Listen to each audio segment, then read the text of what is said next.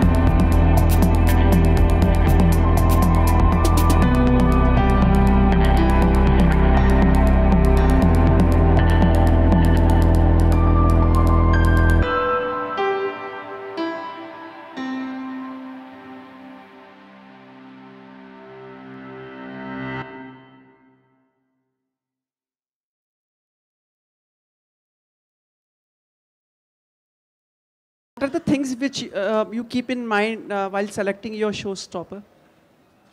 He needs to have a crush on them. Yeah, well, I have a crush on this one. She's so naughty. I love it. They have to be naughty. They have to be spirited. I think they have to embody the spirit of the show. And I was telling you before when we actually chatted about doing this, that by chance I watched Bareilly Ki Barfi, and even though she wore the simplest clothes and all, her spirit, that spirit of that defiant, cocky, you know, a spirit of adventure, wanting to experience the world, and yet being innocent. I just fell in love with the way she portrayed it, you know, and and, from the few times I've met her, actually that spirit's not so far from her spirit, you know. I'm sure it was more difficult to do it in Hindi, but you did a great job, and these are the things I want. But she's also, for me, I've just asked her to shoot for the couture. I love the bone structure. I love the skin. I love the fact that there doesn't have to be too much. There's a naturalness.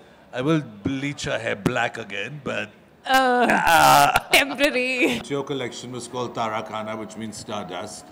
I'm very tired of seeing women in beautiful Indian clothes weighed down like dead kind of rats dragging something around and then running up at midnight to change or throwing, shedding parts of their clothes and then definitely taking off their shoes and wearing rubber chappals because they've got sores. I think you got to be free. This is the land of the jutti and the beautiful. She wore flats. Of course, she is short, poor thing, but otherwise, still it would be good. And you know, I think that fashion that's evening fashion should free you and make you glamorous. It doesn't matter. In our, if you look at our, our heritage, they were flats. They were. Why do we have to? We have to stop trying to be something we are not. You want to wear the embroidery, but you want to wear a heel, and you have to drag 20 kilos in a lehenga. Forget it. It's nouveau. I think we're light, beautiful, spangly. So the it was an, a kind of an analogy to the cosmic, to the lightness of the universe, and bring that into our lives. I mean, women surely are more than just what they wear. You know, look at a great example is here. I told her I have a crush on her after seeing Bareilly Ki Barfi because they really put her in the worst clothes. That was part of her role. I mean, that, you know, she just bought from the local tailor and her personality made it glam. So you have to dress and you have to wear the clothes and you have to make it. I think somewhere along the way we've lost that a bit. Uh, all I know is that I feel beautiful wearing this garment and I don't feel hectic at all. Like I literally could run on the ramp, but I was supposed to walk, so I walked. I told her to be as naughty as she wanted. Yeah, he asked me to be naughty and he asked me to smile, but then he gave it a second thought and he's like, smile when I come with you. Don't smile before that. So uh, I had fun. I think, um, you know, this whole thing of couture being really hectic and actually very heavy uh, to sort of wear and, you know, enjoy your evening. You don't really enjoy the evening.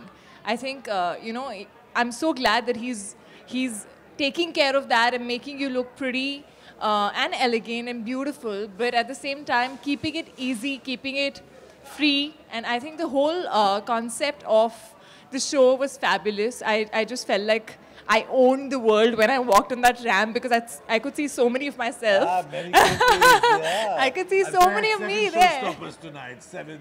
seven Yeah. of the same. Yeah, and uh, in fact, everything, like even the music, I feel was so strong. It just makes you feel strong. And as he said, you know,